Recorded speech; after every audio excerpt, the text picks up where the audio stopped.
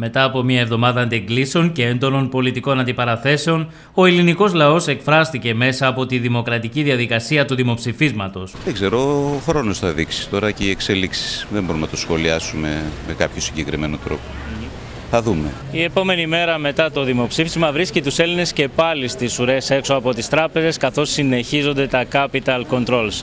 Αυτή τη στιγμή με ένα όχι που ψήφισε ο ελληνικός λαός όλοι ελπίζουν ότι θα έρθουν καλύτερα αποτελέσματα για αυτή τη χώρα. Είναι δύσκολος ο δρόμος. πιστεύω ότι αφού όλη έχει την Ελλάδα πίσω του μπορεί να κάνει κάτι. Το χτεσινό, ας το να παρατηθούν όλοι να φύγουν και να έχουμε την ησυχία μας. Δεν βλέπεις εδώ, λεφτά από τη Γερμανία ήρθαν να πάρω και δεν μπορώ να πάρω τη σύνταξή μου. Επειδή πήρα 120 ευρώ, με λέει δεν δικαιούσε. Και πώς θα μετακινηθώ εγώ; Εγώ είμαι τουρίστας σχεδόν εδώ. Mm. Δεν μπορώ με τίποτε. Τι πρέπει να γίνει αυτό το πράγμα, δεν μπορώ να καταλάβω, ρε παιδιά. Αναμενόμενο ήταν, αγόρι μου. Ναι. Ο κόσμος περιμένει στη σειρά για τα λεφτά και αυτοί ψηφίσαν 60% όχι. Ε, λοιπόν, αυτός ο λαός αυτά θέλει.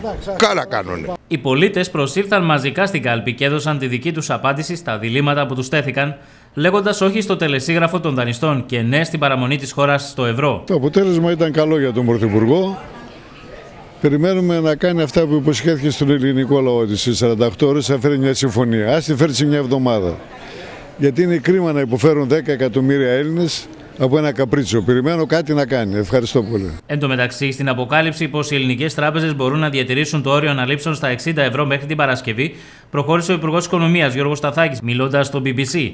Όπως τόνισε, αν η Ευρωπαϊκή Κεντρική Τράπεζα διατηρήσει παγωμένο το μηχανισμό έκτακτης ρευστότητα CLA, τότε το όριο αναλήψεων των 60 ευρώ επαρκεί έως την Παρασκευή. Δεν νομίζω ότι άλλαξε κάτι με ένα δημοψήφισμα. Αδερφέ, τώρα αρχίζουν τα δύσκολα.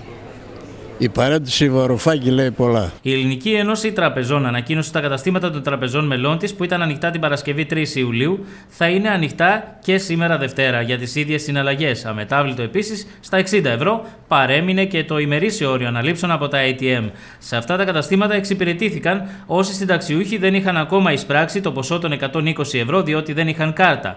Εν τούτης, θα πρέπει να σημειωθεί ότι το ποσό των 120 ευρώ δεν ανανεώνεται λόγω της παρόδου της εβδομάδας. Δηλαδή, η ανάληψη από το κατάστημα θα μπορούσαν να κάνουν μόνο οι συνταξιούχοι που δεν διαθέτουν κάρτα αναλήψεων και δεν είχαν σηκώσει χρήματα την προηγούμενη εβδομάδα. Επίσης, ανάληψη έως 120 ευρώ από τα τραπεζικά καταστήματα μπορούσαν να κάνουν σήμερα και οι δικαιούχοι επιδομάτων του ΑΕΤ που δεν διαθέτουν κάρτα αναλήψεων.